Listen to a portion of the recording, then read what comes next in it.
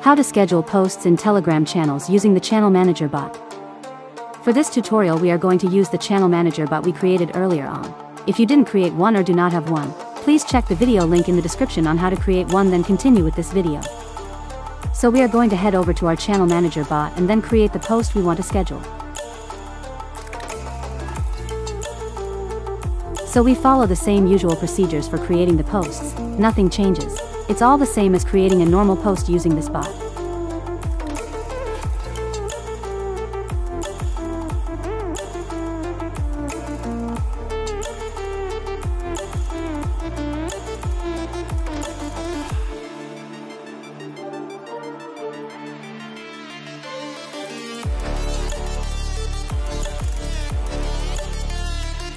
So the catch is here after creating the post. When we reach sending we do not click send now cause that will initiate the post to be shared or posted immediately but rather we choose the Enqueue option which allows us to set the time and day for sharing the post.